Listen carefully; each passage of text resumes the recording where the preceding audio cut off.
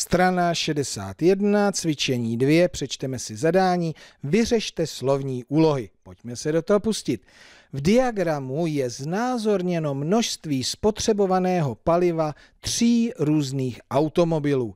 Takže si ten diagram prohlédnu, takhle jsou kilometry, takhle svislé spotřeba paliva a teď tady vidím modré, zelené a červené značky znázorňující modré první automobil, jeho spotřebu zelené automobil druhý a červené značky spotřeba automobilu třetího. Tak, kolik kilometrů průměrně ujedou jednotlivé automobily z 50 litry paliva, tak to odečteme z grafu nebo z diagramu. 50 litrů máme tady, takže to je modrý tady, zelený tady a červený tady. A teď se podíváme dolů, takže modrý ujede na 50 litrů 500 kilometrů, zelený 700 a červený 1000 kilometrů. Tak, podíváme se na řešení. Spa ujel modrý. Hele, ale jednička tady je 1500, no tak to si dovolím označit, že tady je chyba, že to tady někdo omylem tady, že má být 500, protože tady, ne, tady jsme chybu neudělali, budeme si věřit.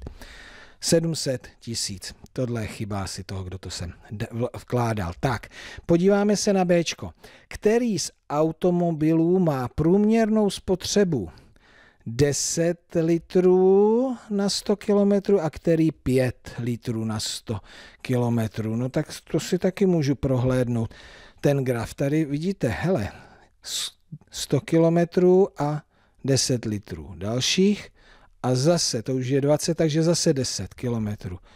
Tady, no tady to poskakuje pěkně po 10 litrech na každých 100 km, no tak to těch 10 uh, litrů má spotřebu tenhle ten modrý automobil číslo 1.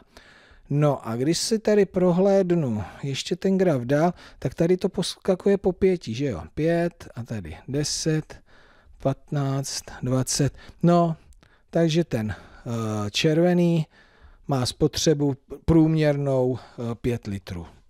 To šlo odečíst z grafu. A tady to počítali. No, takže to spočítali a spočítali to stejně. No, dalo se to vypočítat, takhle, jak to měli oni anebo se to dalo vypozorovat z toho diagramu. Byl tak hezky namalován. Tak a teď se podíváme na C, jakou přibližnou spotřebu paliva na 100 km má automobil 2. Takže to je ten zelený, ten na, takže to je C.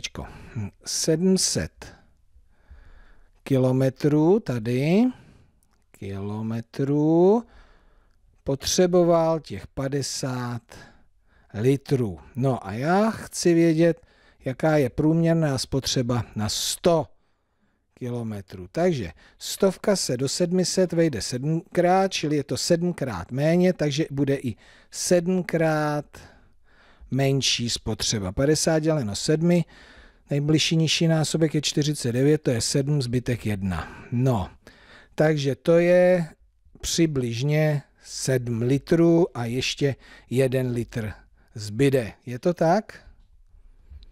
Mhm. Se, je přibližně 7 litrů paliva a tentokrát jsme to počítali. Spočítali úplně stejně. Fakt.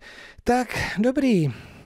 Máme zase za sebou jednu slovní úlohu, která je zaměřena na spotřebu paliva automobilů.